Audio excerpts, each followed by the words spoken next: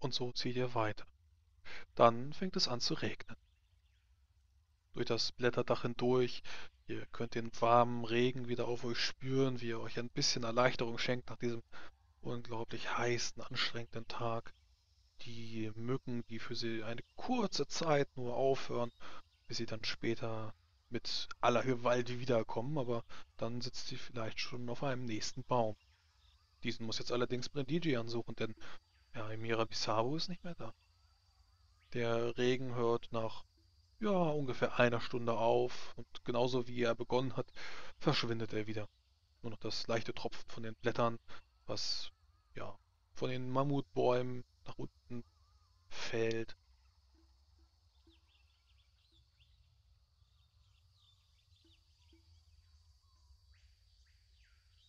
So, und wie geht's jetzt weiter? Ja, wir rasten hier. Ähm, werde einmal losgehen und nach, nach essbaren Pflanzen Ausschau halten und Galagin und Illegin erklären, welche Tiere man hier finden könnte. Äh, Moment, äh, wie, wie kommen wir denn auf den Baum rauf? Denn letztes Mal ist ja mal die Emira Misabu vorgeklettert. Ich hoffe, ich habe den Namen jetzt richtig gesagt. Man schaut so Richtung Brindigi an. Äh, suchen wir erst Pflanzen oder irgendwas Essbares, so wie Tiere, oder ziehen wir uns erstmal auf den Baum zurück? Wie machen wir das? Äh, nun, wie ihr wollt. Also, wer sich schon ausruhen will, sollte schon mal hochklettern. Ich denke, einige von uns können sich auf die Pirsch machen, während der Rest bereits sich daran macht, den Baum zu besteigen. Ja, dann äh, klettert mal vor.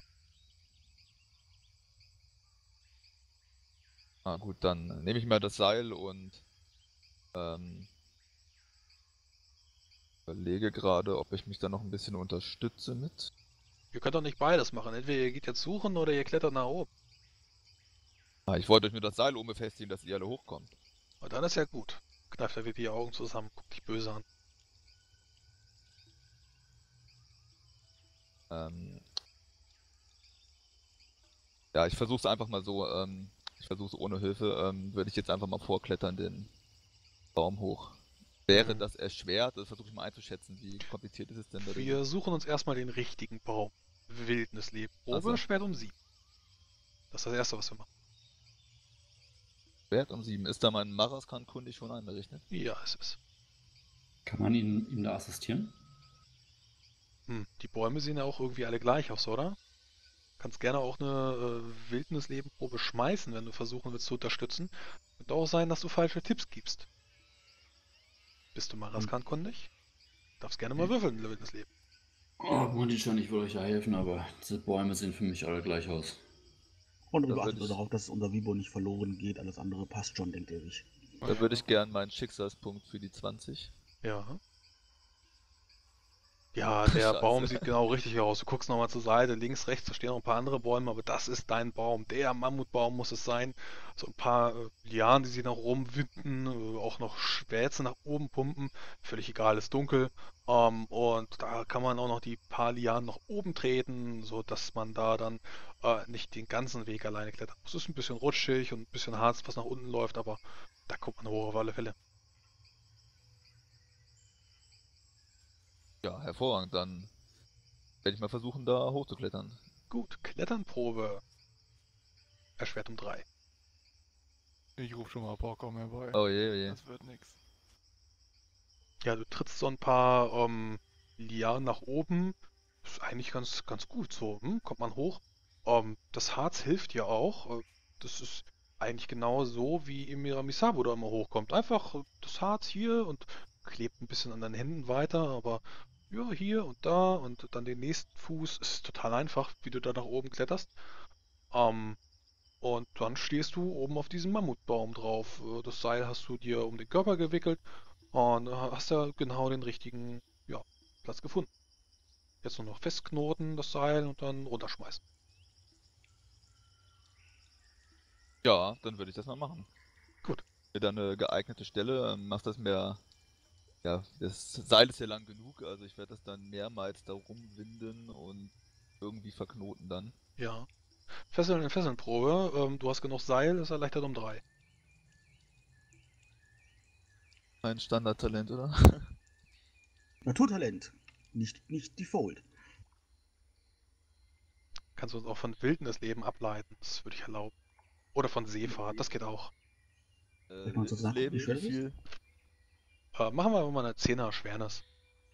Es sei denn, äh, Rodrigo sagt jetzt was anderes, wenn er nachguckt, aber ansonsten, also Seefahrt geht wie Seefahrt gesagt plus auch. 10, Seiler plus 10. Ähm, Ja, Wildnisleben lasse ich auch zu, gar kein Problem. 10 Ja. plus 3. Also äh, insgesamt 13, wenn du es ableiten willst. Das geht schon. Hä? 10 plus 3, das war 3er Erleichterung, soll ich das sagen? Achso, ja, Entschuldigung, genau, also 7, Entschuldigung. Ist ja gar nicht so schlimm. Ah, Glück gehabt. Ah, okay. Äh, ja, dann wickelst du das ordentlich rum. Das äh, ja, schwere Harz, was sie sich gebildet hat, hilft dir auch, ebenso wie du eben nach oben geklettert bist, äh, unterstützt es dich jetzt auch beim Festmachen. Ja, ganz hervorragend. Ähm, dann rufe ich runter, das Seil ist fest. Wer will, kann hochkommen. Und selbst würde ich dann direkt wieder am Seil runterrutschen, weil ich wollte noch Pflanzen suchen gehen. Genau. Ja, kommst du wieder unten an, das Seil ist ordentlich verknotet, niemand stürzt, niemand äh, rutscht ab. Und äh, dann können diejenigen nach oben klettern, die nach oben klettern wollen. Alle anderen dürfen natürlich auch beim Jagen oder beim Suchen äh, helfen. Ich würde ganz gerne von DJ an helfen beim Pflanzensuchen, deswegen will ich jetzt noch nicht nach oben später. Ja, Ja, ja. Äh, schaut sich so an, wie die ersten zwei, drei nach oben klettern an ihm vorbei und äh, du stellst fest, dass deine Hände kribbeln. Ganz leicht und es wird, wird ein bisschen wärmer an deinen Händen, tut ein bisschen weh. Versuchst vielleicht dir das nicht anmerken zu lassen, aber dann irgendwann tut es so doll weh, dass du echt erstmal anfängst zu reiben an, ja, vielleicht an, ein paar Pflanzen, die hier wachsen, um das abzustreifen. Das macht dieses schwarze Harz an deinen Fingern ein bisschen weh und kribbelt weiter. Ähm, ja, ich schaue mir mal die Hände an. Ähm, so auch, ja, an Pflanzen, aber auch an meiner Robe abzuwischen, also was da besser hilft. Ist, ja, wie gesagt, schweres Harz, ähm, fast so ein bisschen ölig und klebt weiter, jetzt nicht nur an deinen Händen, sondern auch an deiner Kleidung. Du kommst ein bisschen Panik, äh, weil es dann wirklich anfängt weh zu tun. Und äh, dann, nach einiger Zeit, hast du es aber auch geschafft und ja, dann ist es komplett runter. Siehst aber auf deine geröteten Hände, teilweise ist auch das, deine Haut nicht nur, nicht nur rot, sondern ist das Säure? Deine Hände brennen. Unglaublich. Und du bekommst von mir 9 SP. Ah, Magister, warum saut ihr eure Klamotten denn da so ein? Soll noch farbenfroh bleiben? Also dieser, ich weiß nicht, dieser Baum, ich glaube, das ist irgendein, ich glaube, der ist durch irgendwelche ungeschaffenen, ja, Landschaft gezogen worden. Das, dieses Harz, das ist nicht so, wie es sein sollte. Oh Mann, aber dann können wir auf dem nicht übernachten. Aber ich befürchte auch nicht. Eine gute Idee. Wir sind Männer. oben, der nächste. Kommt runter! ruft Nein, wir sind schon oben. Nein, ihr müsst runterkommen. Wir laufen weiter. Verzeiht, Bruder, Schwestern, wir müssen einen anderen Baum suchen. Aber wirklich viel haben wir doch nicht. Wir können doch zum nächsten Baum rüberspringen. Kommt einfach hoch.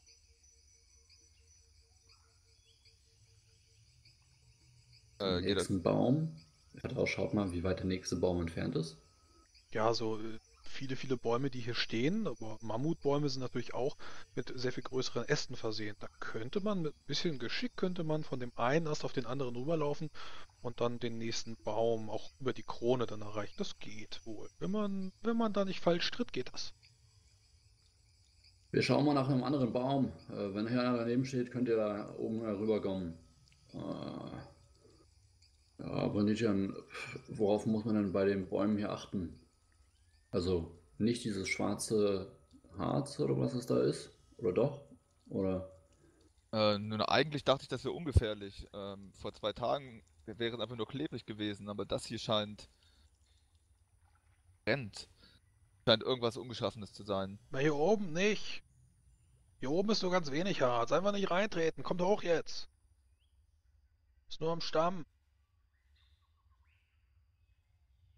Und Rico schaut nach oben. Wer ruft denn da jetzt runter? Wer ist das denn? Der Söldner. Dünar. Dünner. Runter, Befehl ist Befehl. Äh, jawohl. Und Rico schüttelt den Kopf, denkt sich so, Mann, Mann, Mann, wir sind doch hier in einer Bitte-Bitte-Show. Ja, äh, Potro äh, steht da auch nur am Stamm, äh, lehnt sich gerade mit seiner Hand an dieses äh, klebrige Harz, schüttelt im Kopf. Mann, Dünar, du bist ein ganz schöner Idiot. Äh, Wenn der Leutnant was befiehlt, dann hast du da auch äh, drauf zu hören. Potro, mein Guter, wischt euch dieses Zeug ab, ansonsten habt ihr genauso verbrannte Hände wie Brandigian. Verbrannt, was? Kribbelt ein bisschen, aber geht doch wohl schon. Er wischt das so ein bisschen an seiner Robe ab und du siehst, wie er wohl genau über seine Wunde rüberstreift. Zumindest da, wo er äh, vor einigen Tagen noch dann äh, diesen Harpunal wieder drinstehen hatte, das, was auch neulich geblutet hatte. Äh, da ist jetzt zwar eine Rüstung drüber, aber er wischt sich halt gerade so dieses schwarze Harz wieder ab. Ich würde so eine Klugheitsprobe, das mit der Wunde so in Verbindung bringe. Ich habe nämlich selber auch irgendwie keine Lust. Ah, ähm, Potro, ist da nicht irgendwie, da wo ihr das jetzt abgewischt habt, in der Nähe eure Wunde gewesen, dass das blöde Zeug nicht in eure Wunde kommt? Nein, nein, die ist verbunden, alles gut. Ah, Aua, meine Hand tut weh. Ah, das ist echt unangenehm. Haben wir irgendwas zum Waschen? Irgendeinen kleinen Teich oder einen Bach oder sowas? Draufspucken und an der Robe abwischen. Äh, euer Gnaden der Verdeios, eure Spucke funktioniert doch gegen Krankheiten. Würdet ihr mal? Ach, natürlich, natürlich. So, einmal in jeder Handfläche oder willst du die zusammenreiben? Ich mach das. Okay. Ja, einmal Ziehst, richtig so hoch und dann spuckst sie ihm in die Handfläche, er bedankt sich nett bei dir und wischt sich dann so die Hände äh, aneinander ab, äh, wie man sich eben die Hände so wäscht. Und ja, du siehst auch, wie die äh, Spucke dann sich schwarz gefärbt nach unten läuft in seiner Handfläche. Äh, nickt wieder nett zu. Äh, vielen Dank.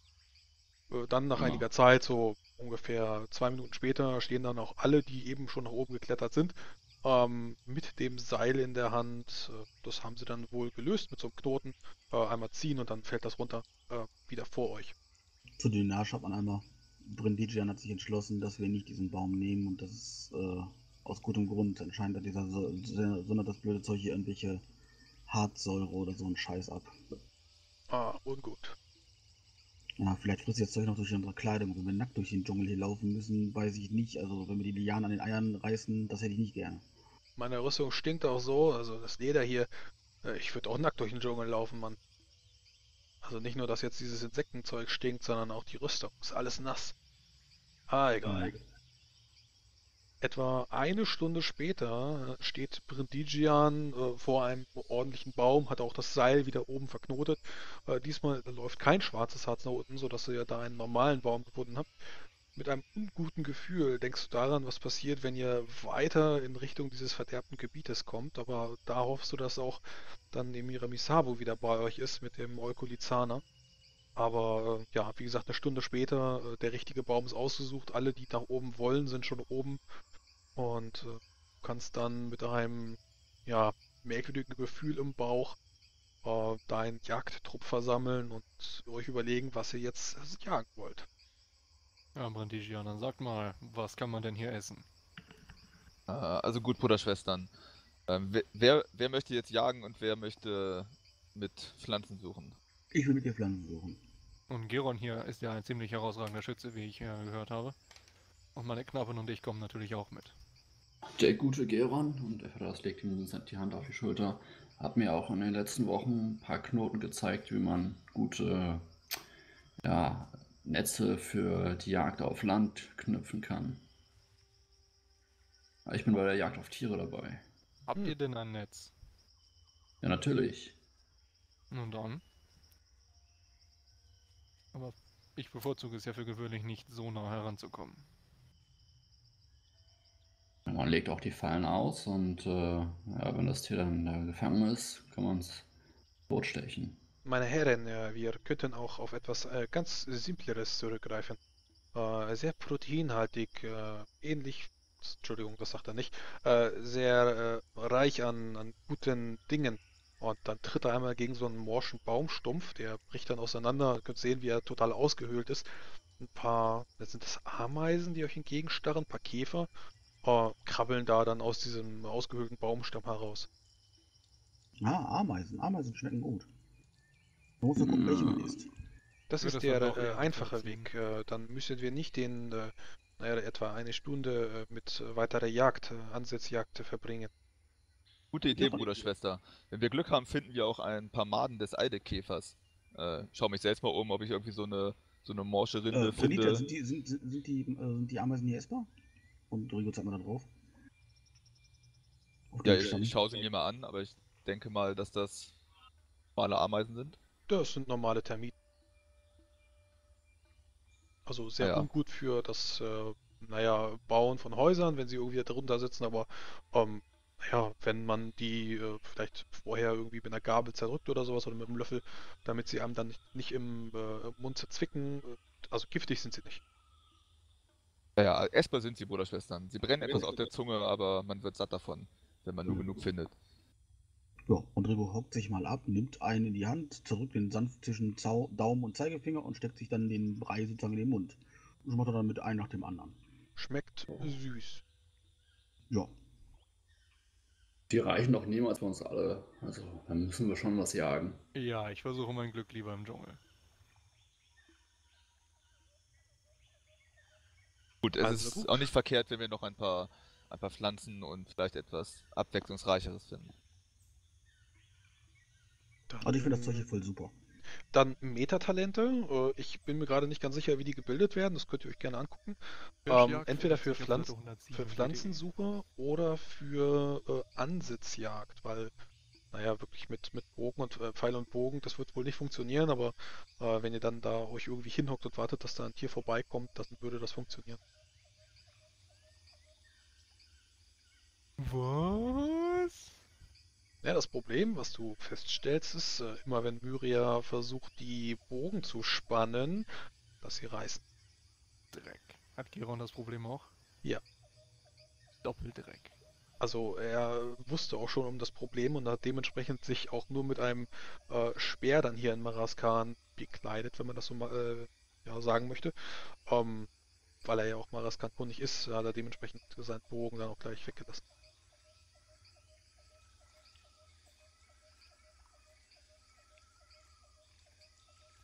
Ja, äh, ihr dürft dann gerne eure ähm, Proben würfeln zum Kräutersuchen.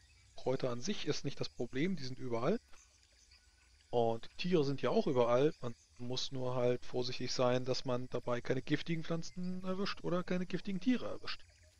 Ja, wie ist das mit Pflanzen sammeln und äh, diesen sozusagen sich ein paar Termiten futtern? Wird das genauso gehandhabt oder wie willst du das handhaben oder bei Tierkunde? Wenn Oder- du jetzt Termiten essen möchtest, ist das nur eine Selbstbeherrschungsprobe. Das ist nicht das Problem. Aber ich würde sie dir als Selemit auch erleichtern. Da kannst du dann einfach zuschnappen, also einfach reintreten, ein paar zerquetschen oder Ohne so. Erleichterung geschafft. Ja, okay. Ähm, dann kannst du Termiten essen. Der ein oder andere wird äh, erstmal warten, bis die Leute von der Jagd zurückkommen, beziehungsweise vom Pflanzen suchen. Und wenn sich andere Leute entschließen, ja, irgendwelche anderen Tiere zu suchen, dann äh, können sie Proben schmeißen. Ja, du weißt, wie die Regeln waren. Was ist das Wege der Decke oder Wege des Schwerts? Wege der Entdecker Seite für Ansitzjagd 108, aber da habe ich null.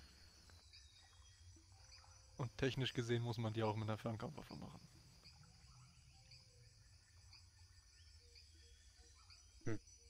Ja, kannst du würfeln? Einfach mal 3W20 reinschmeißen. Vielleicht hast du ja Glück. Doppel 20 geht immer, Doppel 1 geht immer. Äh, ich habe Glück. Ja, okay. Oh, auf, aufs Auge, die ersten zwei. Tierfallen aufstellen. Wow. Zwölf Sternchen. Ja, Rodrigo zermatscht sich da dann äh, so eine kleine Schüssel, äh, die du. Hast du eine Schüssel mit oder so aus Holz? Ja, Zumindest das habe ich kannst du- eingepackt. Ja, auch eh, zumindest kannst du dir dann einen großen, einen großen Teller voll ein mit nach oben nehmen.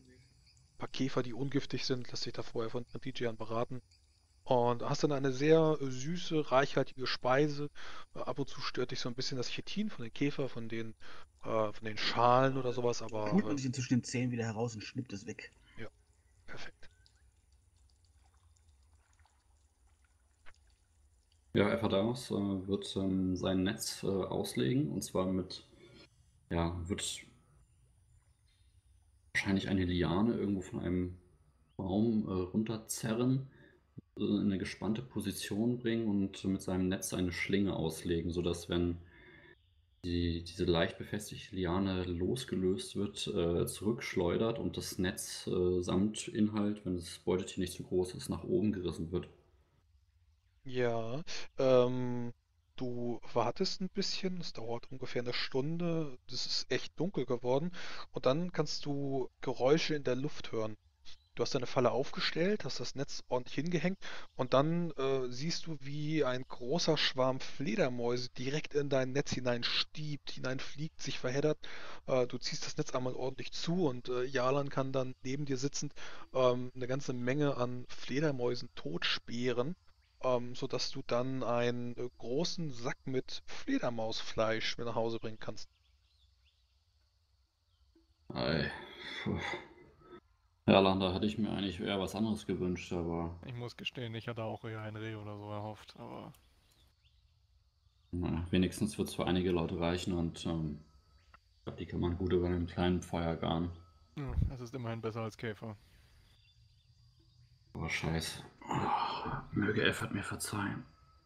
Hm. Scheiße! Oh, wir müssen auch auf den Baum, ey, sonst kommen hier gleich diese Nachtviecher wieder. Oh, ich krieg... Ja, sind wir. Sehen wir zu, dass wir hier fortkommen. Ja, oh Mann. Ja, Ephedaios, wie ist denn das mit deinem Nachteil? Ja, gut, fühlt sich, das- Speisegebote? ja, fühlt sich nicht gut an. Hm, Schuldgefühle, die dich plagen? Kein Fisch? Oder wie ist es? Kein Fisch, keine, keine Meerestiere oder offenes Feuer gebraten? Was, äh, was ist das? Ähm, über Feuer ist, ähm, wenn es keine Meeresfrüchte sind und über Feuer, ganz schlecht. Ja, du lässt dir natürlich von Predigian sagen, dass man Fledermäuse nicht roh essen darf, weil die tragen natürlich auch so ein paar Kleinsttiere in ihrem Fell und können sehr, sehr fiese Krankheiten verbreiten. Die müssen gekocht werden und ihr könnt euch oben dann so ein kleines Feuer anmachen auf dem Baum, während ihr dann seht, wie, ähm, ja, nachdem ihr alle nach oben geklettert seid, da wieder ein paar Tiere unter eurem Baum entlang ziehen und das Nachtleben wieder begonnen hat, die Affen fangen wieder an zu schreien. Ähm, ihr habt euch genug Moos gesammelt, sodass ihr dann hier oben euer Feuer macht und Schuldgefühle. Ist Ja, das ist natürlich genau klein. der Also, Grund, weshalb man soll natürlich sind. man soll natürlich Ingerem auch ehren als, als Ferdi, aber Feuer. Ah, das nagt an dir. Ah, ist das scheiße. Aber was bleibt dir denn anderes übrig? So Ja, ist das ein. Käfer. Rodrigo reicht ihm so einen zermatschten Käfer rüber. Komm einfach da, jetzt nimm einen Käfer. Hm. Die hast du jetzt nicht über dem Feuer angedünstet, oder? Ja, die werden so pur gegessen, die sind voll, voll gut. Oder er lächelt so ein bisschen zu. Na gut, die sind nicht voll gut, aber man kann sie essen. Ja, und reiß ich jetzt die, diese kleinen Beine aus, oder was? Nee, nee, die musst du mitessen, die knuspern. Die, die Beine sind das Beste. Du musst hinten den, den Schal, den, beim beim Panzer kannst du nicht alles mitessen, aber das kriegst du schon raus. Die knuspern. Oh Mann.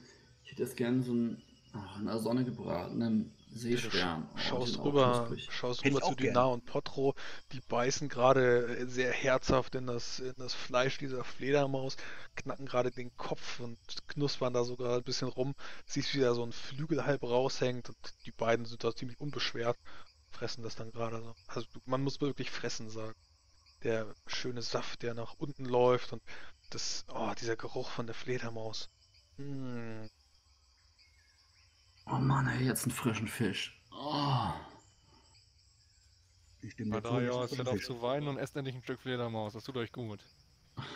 Äh. Haben wir nicht noch solche Jagernüsse? Ich. Hm. Ja. Hättet ihr vorher dran denken müssen. In Borat, Freundchen. Habt ihr nicht Das getan. Oder? Jetzt bestraft euch, ja. Habt ihr nicht getan, jetzt bestraft euch das Leben. Viborn, Mann, ey, jetzt. Vivan, seid Ja, doch einfach schön dankbar einfach. für die Fledermäuse und erhitzt. Ja, genau. Mann. Echt, wenn ich. Wenn ich. Oh, deine. Ne, wegen dir. Oh. Ist Ja, was das ist denn eine jetzt wegen ihm? Er, er hat doch nur gesagt, wir sollen weiterlaufen. Das ist doch richtig. Ihr habt euch freiwillig gemeldet. Hättet ihr euch ein bisschen informiert, hättet ihr genau gewusst, was euch bevorsteht. Hättet ihr euch vorbereitet.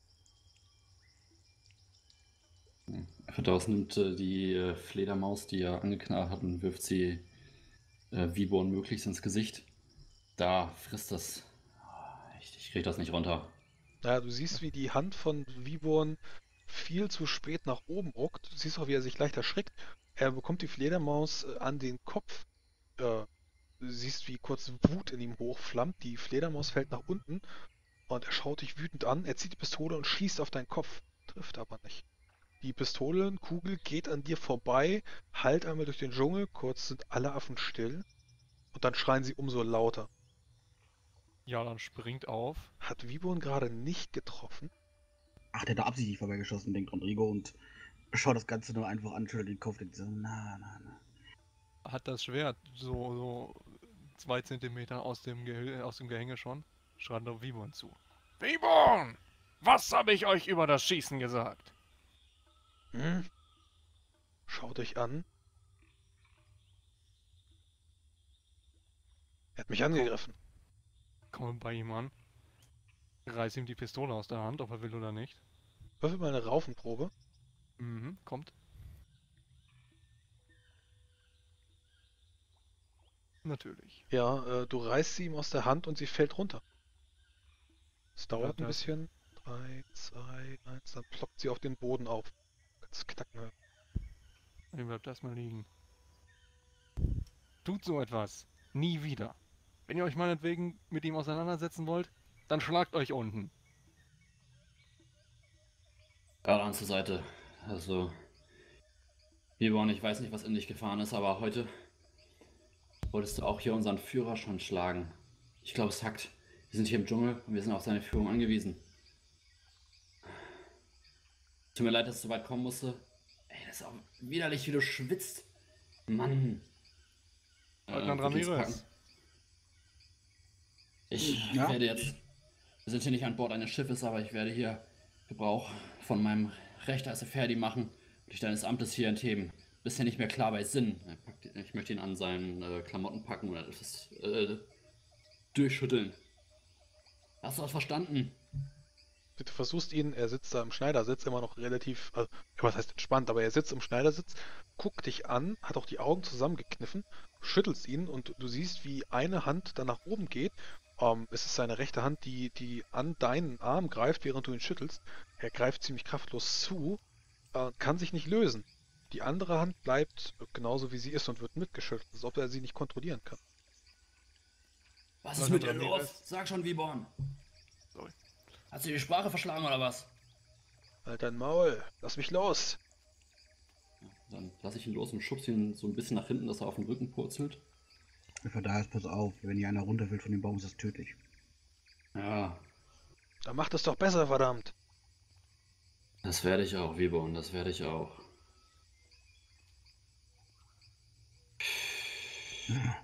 Rodrigo schüttelt den Kopf und geht zum Seil. Ich hau mal kurz, dass er runtergefallen ist. Und klettert das Seil hinunter. Und wieder hinauf. Um, also er will nach unten gehen und einmal gucken, wo die Pistole liegt. Hm, würfel mal spaßeshalber eine Kletternprobe, einmal runter, einmal hoch. Mal runter. Pistole finden. Einmal wieder hoch. Ja, die Ballestrine ist zerbrochen. Ähm, das ist bei der Höhe auch überhaupt kein Wunder. Ähm, das ja, könnte natürlich auch andere Dinge sein, aber so etwas äh, ja, feinmechanisches wie eine Ballestrine, ja, hat überhaupt keine Chance. Äh, du kannst die Eil- Einzelteile noch finden, kannst die, äh, Die jetzt auch Einzelteile, die aber findet, steckt er ein und klettert wieder nach oben. Und wenn du oben ankommst, erwartet Jalan dich schon. Wie ich sagte, Leutnant Ramirez, euer Offizier, scheint nicht mehr fähig zum Kommandieren zu sein. Ich erwarte, dass ihr die Truppe übernimmt. Ja. Äh, Rodrigo stellt sich dann erstmal dahin, geht äh, einmal zu, ähm, zu Vibon, Vibon hier, das sind die Überreste eurer Pistole und legt sie ihm sozusagen in den Schoß.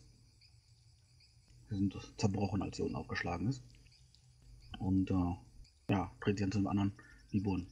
Euch scheint es wirklich nicht gut genug zu gehen. Ich würde ganz gerne das Kommando übernehmen, bis ihr euch wieder besser fühlt. ja, äh, einigt euch mit äh, Geron und äh, Sari. Die sind nämlich genauso hoch wie ihr und dann äh, ja, äh, Rodrigo, du machst das. Er hat einmal kurz Sag mal, Probleme mit seinem Bauch, macht einmal so einen, so einen Aufstoßer uh, und äh, nickt dann. Noch. Rodrigo verzieht einfach kurz das Gesicht, als er ihm ins Gesicht aufstößt, richtet sich dann auf und äh, nickt einmal ganz kurz Ephodios zu, geht dann aber zu Sari und Geron. Und wenn die beiden nicht zusammenstehen, dann geht er zuerst zu Sari hin und sagt, kommt mit. Und zu Geron hin äh, und geht dann zu Geron hin. So, und er muss das Kommando übernehmen. Dem zweiten, dem 2O scheint es nicht gut zu gehen. Ja, das äh, habe ich schon mitbekommen. Ähm, wenn ihr mögt, dann dürft ihr euch das gerne zutrauen. Ihr habt wohl die Meister, also ihr habt dann Dschungelerfahrung. Äh, Geron ist natürlich Maraskan kundig, aber äh, schicken wir einfach Geron nach hinten und ihr könnt dann äh, vorne mitlaufen bei Brindigian. Und, und Ja. Geron, tausch mir die Plätze, ich übernehme die Führung und du übernimmst das Schlusslicht. Vibon soll irgendwo in der Mitte laufen, dass wenn was ist, dass Leute, genug Leute das sofort bemerken. Ja, wird genickt. Gut. Ja, ist, der, ist der krank oder was? Der, der konnte sich gerade eben nicht mal wehren. Ich meine, ich bin Kopf größer als der, aber Mann, das ist ein Seebär. Was ist damit los? Scheinbar bekommt ihm die Hitze nicht. Hm. Kommt euch allen nicht. Scheinbar bekommt sie ihm noch weniger, als sie mir bekommt. Und mir bekommt sie schon gar nicht. Ephodios, ihr seid ein Geweihter, ich äh, lege das, äh, das Wohlbefinden von Vibon in eure Hände. Dass ihr euch irgendwie versucht, darum zu kümmern. Ich meine, ihr seid natürlich jetzt kein Experte auf allen Gebieten, aber äh, fragt man der Mannschaft rum, wenn da irgendwas Wichtiges ist, was ihr wissen müsst, dass ihr das klärt. Ich vertraue euch da. Porkom, Mhm. kommt mal her. Irgendwas abschneiden? Hoffentlich nicht. Was? Schaut euch den WO mal genauer an, ob ihn vielleicht irgendwas gebissen hat oder so. Warum ich? Weil ihr der Heiler seid. Ich bin der Chirurg.